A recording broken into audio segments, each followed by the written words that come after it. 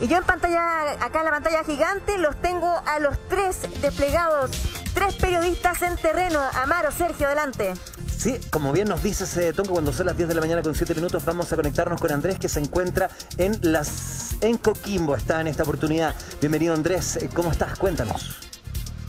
Hola, muy buenos días. Eh, desde el sector de Tierras Blancas, en la comuna de Coquimbo, y en una fría mañana acá en la conurbación, para mostrarles un poco lo que está sucediendo eh, en este sector, que es un sector altamente residencial, es uno de los que acumula mayor cantidad de población eh, acá en la comuna de Coquimbo. estamos en el sector de la feria, sector gremio que ha tenido polémica en los últimos días a, propósito de que se va a prohibir trabajar los fines de semana, no se va a poder salir los fines de semana y ellos van a tener que dejar de sus funciones. Ustedes pueden ver a esta hora cómo la gente transita, estamos en cuarentena, esta imagen ustedes eh, que ustedes ven eh, es una imagen de comuna en cuarentena. Nos vamos a mover para ver si podemos conversar con eh, algunas de las personas que están trabajando en este lugar. ¿Cómo le va? Muy buenos días. estamos en vivo para el canal 13. contarle, le va a costar un poquito el fin de semana, no van a poder trabajar, van a tener los locales, no, no, se van a instalar.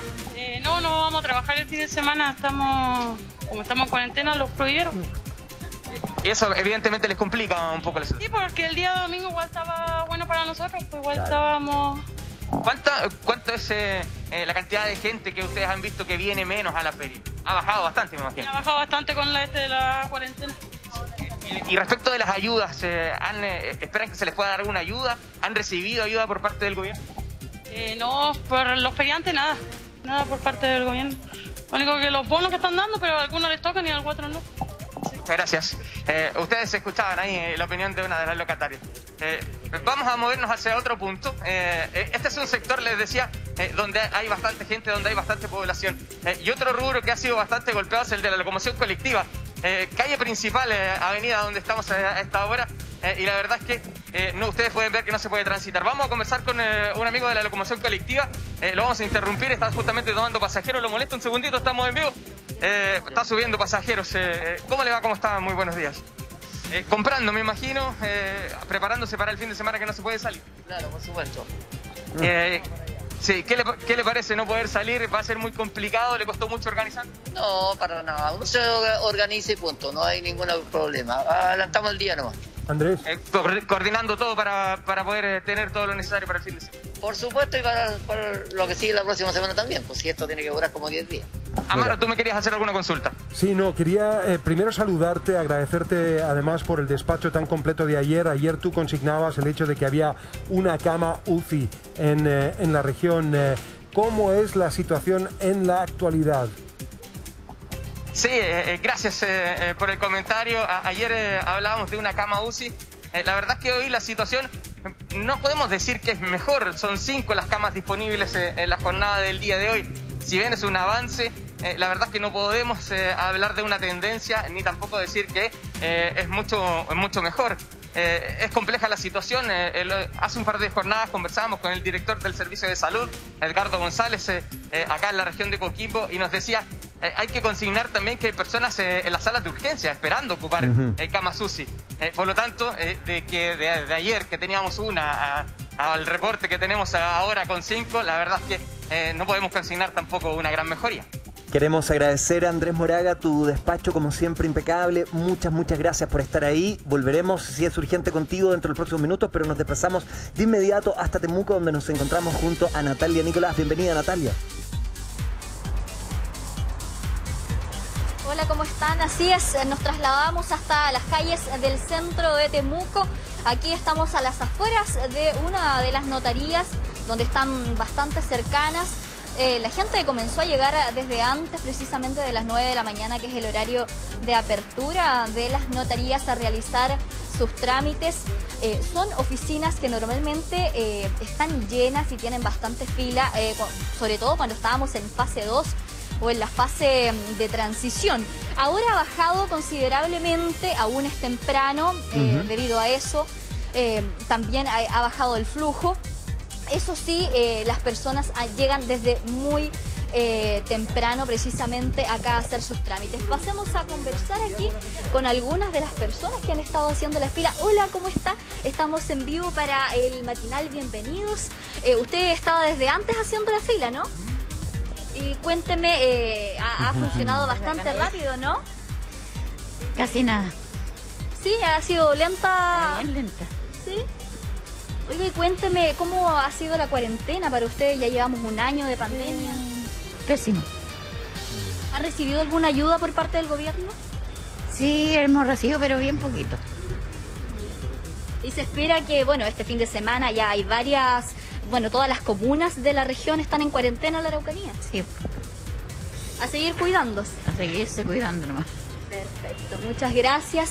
Bueno, es el, el sentir de las personas. eh, están las 32 comunas de la región los fines de semana en cuarentena eh, total. Ya son 25 comunas que se encuentran en la fase 1 eh, de cuarentena y 7 comunas solamente que están en fase 2. Pasemos a conversar aquí con el caballero. ¿Cómo está? Eh, cuéntenos, ¿usted desde qué hora está acá haciendo la fila? Más o menos como media hora atrás. ¿Ha Sí. funcionado rápido, lento el proceso?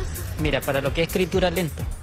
Pero bueno, es de, porque tienen un máximo de 8 personas que va a ir en el cartel. Entonces sí, un poco lento. ¿Cómo Pero ha sido la cuarentena para usted personalmente? ¿Un año de pandemia ya? mm, para mí al menos ha sido normal. Yo he trabajado, para mí no, no existió prácticamente la cuarentena porque siempre he estado trabajando. Qué bueno. Así que, pero sí un poco más, obviamente más restringido, el hecho del cuidado, de todas esas cosas. Pero bien, bien, bien. ¿Ha recibido alguna ayuda del gobierno? No, por mi parte no. Eh, porque no, no calzo como para la clase baja ni tampoco para la clase media, así que al final estoy como ahí entre medio. Al final no. Muchas gracias. Bueno, ya escuchábamos Perfecto, eh, sí. el parecer de las personas. Algunos han recibido ayudas por parte del gobierno, otros eh, no clasifican precisamente. Nosotros continuamos acá en las calles del centro de Temuco precisamente para irles contando cómo se está viviendo la cuarentena total aquí en la capital regional de la Araucanía. Muchas gracias Natalia, pasamos por Coquimbo, Temuco, está llamando Valparaíso, Silvana Stock nuevamente en contacto contigo, adelante por favor.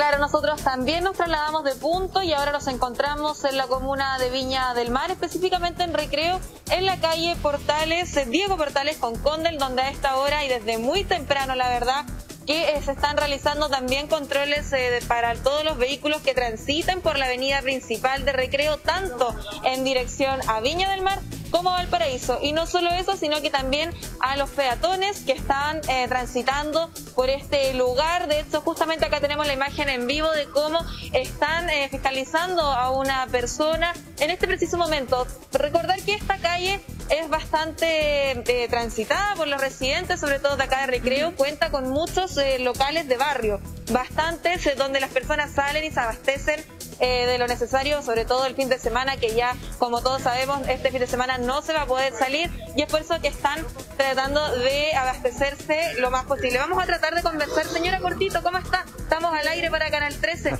¿Qué le parece que estén fiscalizando acá? Bien, muy bien. Porque todas las veces que he viajado nunca me habían fiscalizado.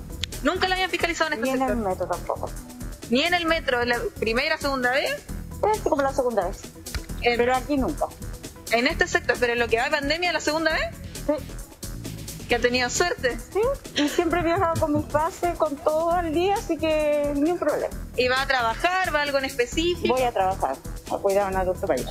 Ya, perfecto, que le vaya muy bien entonces, no le quitamos más tiempo.